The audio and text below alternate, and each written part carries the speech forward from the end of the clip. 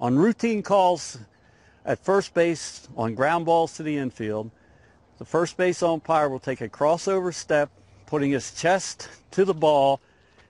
As the fielder is fielding the ball, he will establish a 90 degree angle from first base to the fielder that's throwing. As the fielder is fielding the ball and throwing to first base, let's have a throw, and it is a quality throw, he will turn his head and eyes in front of there and make the call. He's out!